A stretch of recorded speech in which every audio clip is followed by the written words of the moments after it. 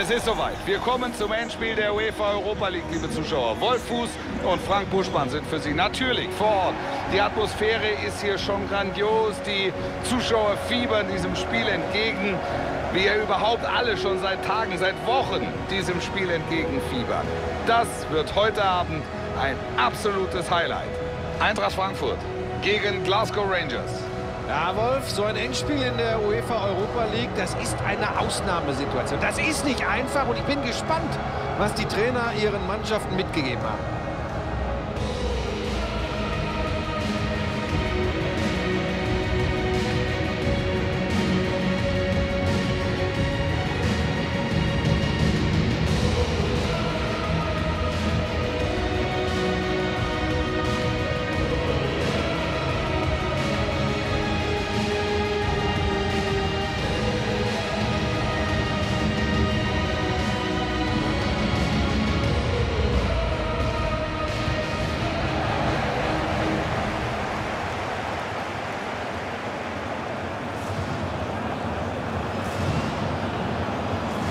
Eintracht Frankfurt geht mit dieser Aufstellung ins Spiel.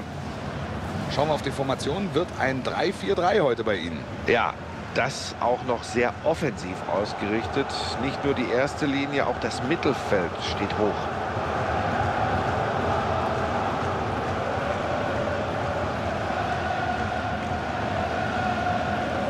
Auch der FC Sevilla hat mit dem Estadio Ramon Sanchez Pizjuan natürlich ein Stadion, das schon ja, zu den etwas reiferen Semestern zählen. Ja, Wolf, 1958 eröffnet, seither einige Male renoviert, einige Male modernisiert.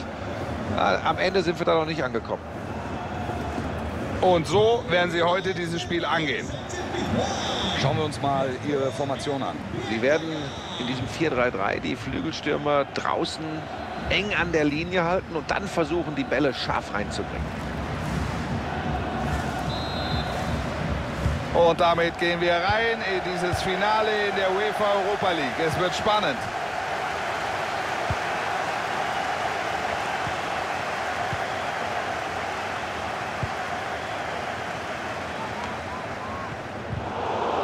Geht da voll in diesen Zweikampf. Ein Pass mit viel Auge. Abwehr muss so langsam aufpassen. Weiter dieses Dribbling. Das wird hier Ecke geben.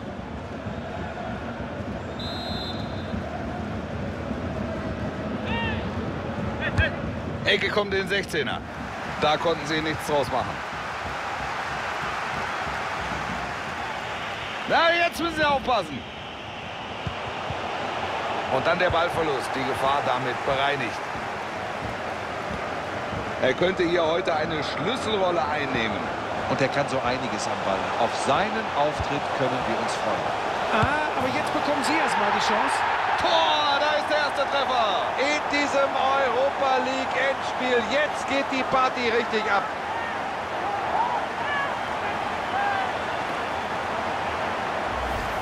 Nochmal das Tor. Da kommt die Flanke. Und dann einfach eiskalt abgezogen. Der Wolle ist nicht zu halten. Das ist ein tolles Tor.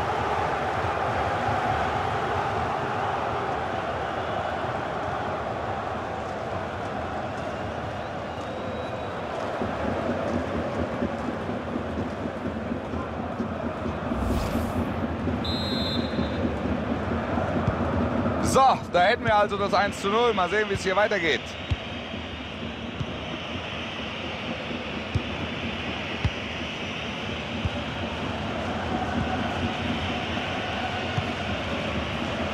Jack. Die Nebenleute bieten sich da schön an. Da geht er vorbei. Da sind sie immer noch. Vielleicht der Ausgleich. Schön dazwischen gegangen.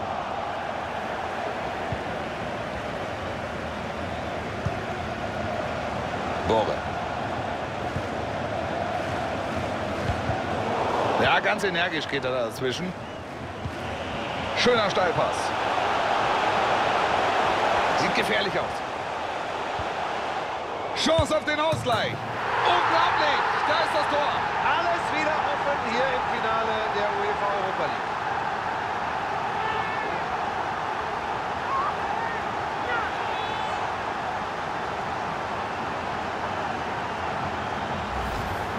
Mal ist der Pfosten dein Gegner, mal ist der Pfosten dein Freund. Hier hat er geholfen. Vom Pfosten springt der Ball hinter die Linie.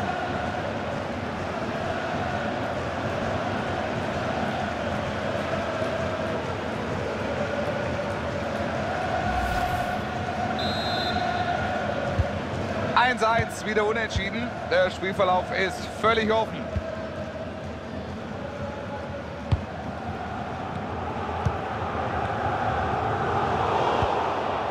So.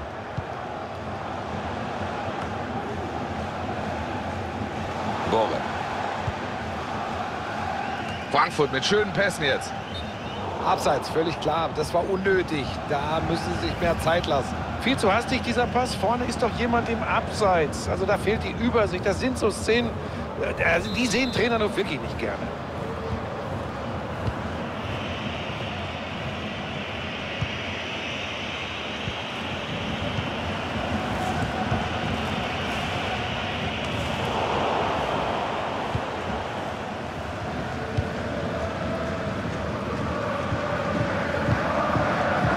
Schön dazwischen gegangen, Ballverlust. Er spielt steil. Ja, könnte was werden. Er hält diesen Ball. Sensationell.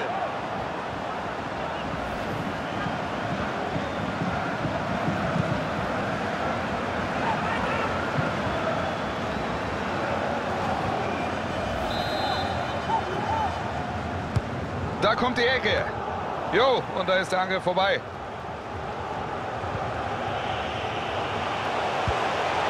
James Tavernier. Keine gute Hereingabe, Ballverlust.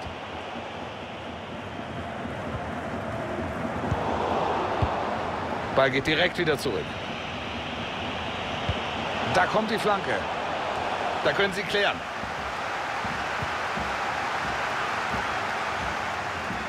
Jetzt können sie den Konter ansetzen. Jetzt der Steilpass. Chance zur Führung. Ah, da ist das Tor, aber da machen sie es ihnen zu einfach. Das nutzt er eiskalt.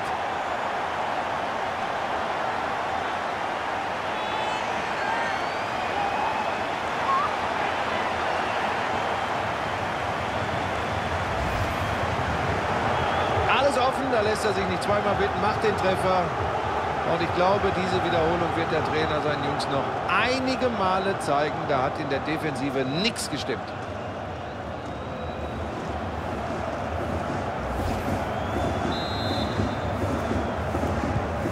Jetzt steht es hier 2 zu 1. Eine enge Kiste.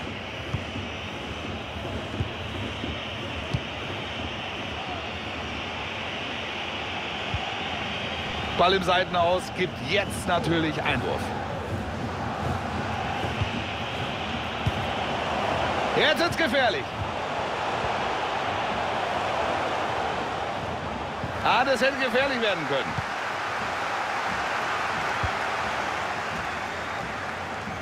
Rode. Nachspielzeit wird angezeigt. Eine Minute. Das ist es vielleicht. Der Torwart war da nicht gefordert. Nee, so richtig war das Tor in dieser Szene Viel hat da nicht gefehlt und sein Versuch wäre von Erfolg gekrönt gewesen. Ah, da hätte er eigentlich einen Treffer verdient gehabt.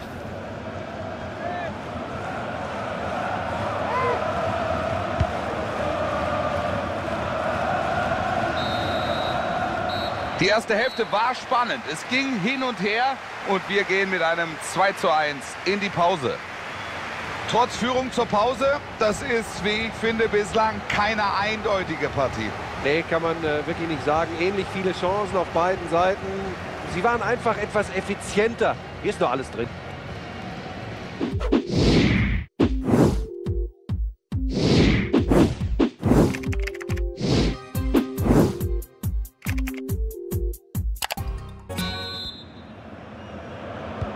Endspiel in der UEFA Europa League. Wir steigen ein in den zweiten Durchgang.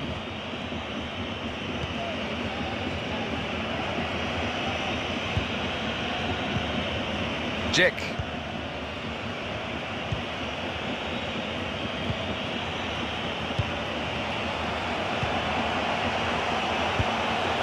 Vorwärtsbewegung jetzt. Das sieht alles sehr überlegt aus. Ja, er hat den Ball im eigenen 16er. Könnte der Ausgleich sein. Der Linienrichter hebt die Fahne abseits.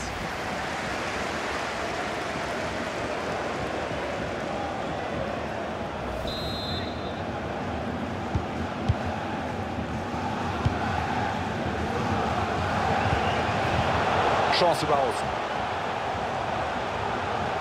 Die Gelegenheit für die Flanke. Und jetzt die Chance. Glanzparade. Tolle Aktion, was für ein Wahnsinnsreflex.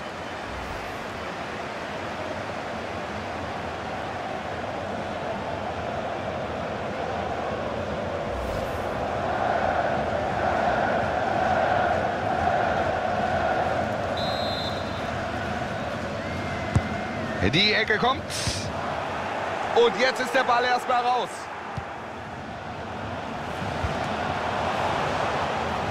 Verteidiger ist dazwischen.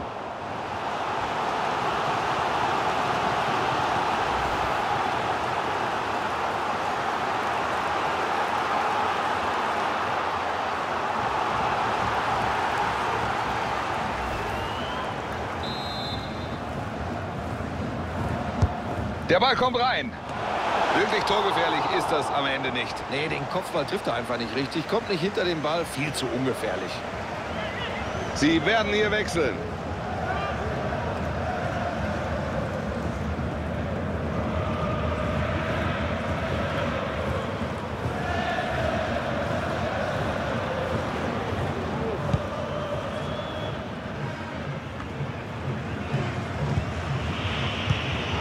Und Aaron Ramsey. Ruhiger Spielaufbau. Wo ist die Chance für den Pass? Ganz klar, der Ausgleich muss her. Da ist der Ball weg. Bore. Klasse Pass. Oh, da können Sie sich bei ihm bedanken. Was für ein Hechtsprung. Da zeigt er sein ganzes Können. Oh, das war gefährlich, keine Frage.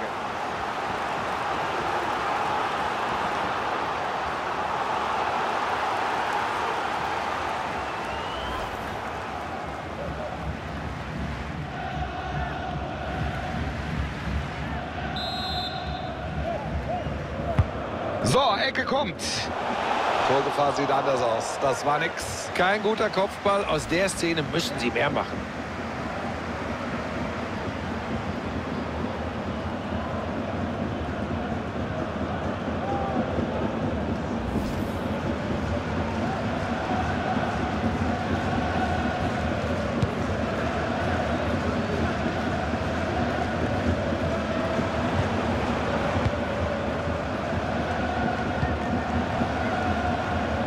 Kostic. Klasse Pass. Flanke auf den langen Pfosten, die kommt gut. Die Kopfballchance, aber das ist natürlich schwach. Ja, ärgert ihn auch, sieht man.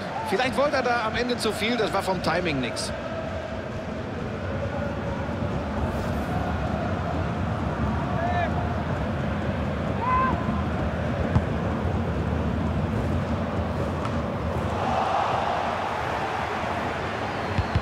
Da ist der Ball wieder weg.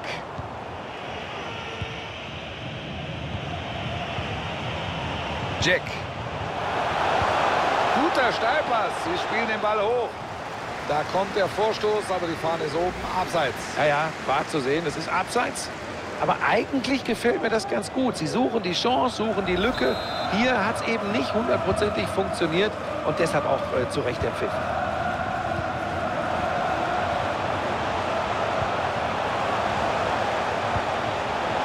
Frankfurt mit schönen Pässen jetzt. Der wäre gut gekommen, aber der Schuss wird abgeblockt. Ecke hier, das kann natürlich gefährlich werden.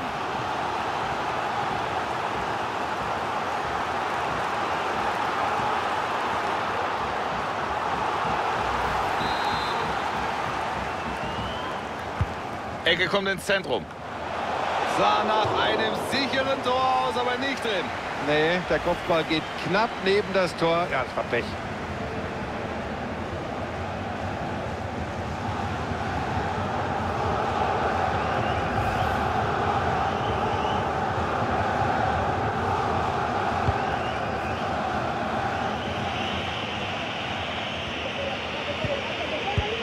James Tavernier.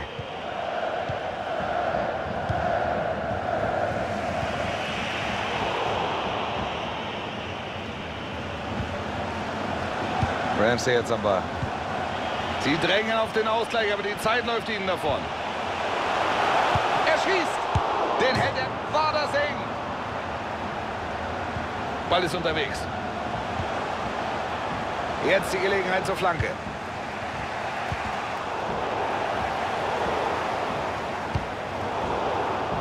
Er geht schön dazwischen. Der Angriff jetzt, das machen sie gut. Riesenchance. Das ist natürlich harmlos. Da muss die Abwehr nichts machen, das war ungefährlich. Es wird Wechsel geben. Beide Trainer wollen was verändern.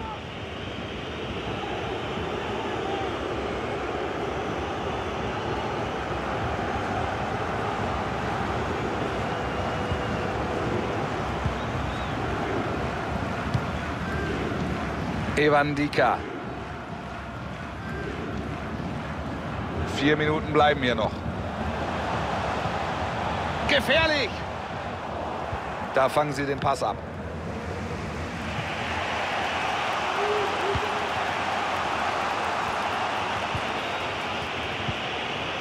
Jack. Reguläre Spielzeit ist um, aber es gibt vier Minuten obendrauf. Ist abseits. Da hat das Timing nicht gestimmt.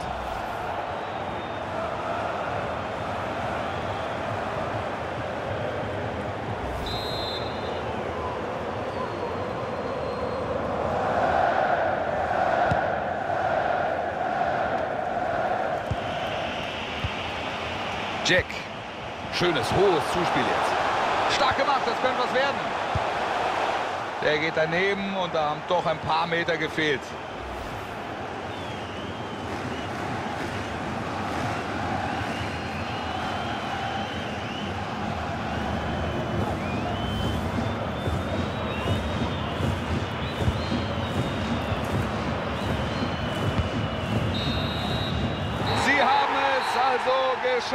Das ist der Sieg in der UEFA Europa League. So ein bisschen gehen einem die Superlative aus. Überragende Leistung. Ja, das ist ein tolles Finale, das sie gespielt haben. Und zu Recht natürlich diese Bilder. Immer wieder schöne Bilder. Unglaublicher Jubel. Perfekt eingestellt vom Trainer. Und das ist jetzt eben die Belohnung. Und ich denke, da kann ich für uns beide sprechen, Wolf. Äh, da können wir nur gratulieren. Das war eine herausragende Leistung. Herrlich. Herrlich, herrlich.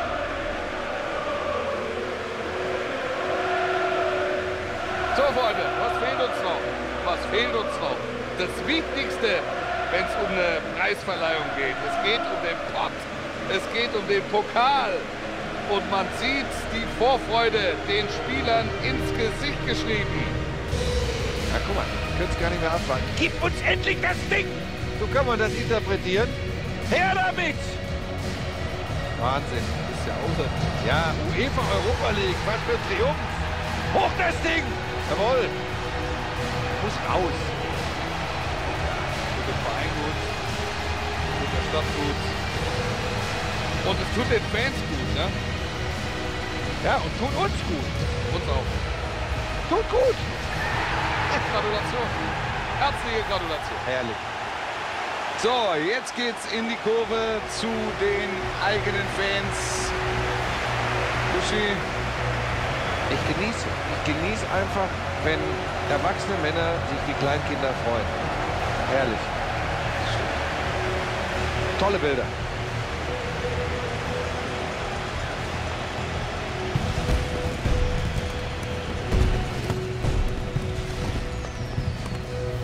Ein tolles Bild jetzt hier. Ich glaube, an diese Mannschaft werden wir uns noch lange erinnern. Ja, das ist ein sensationelles Team. Ohne Schwächen. Einfach klasse zusammengestellt, auf den Punkt topfit und auch taktisch immer wieder überragend.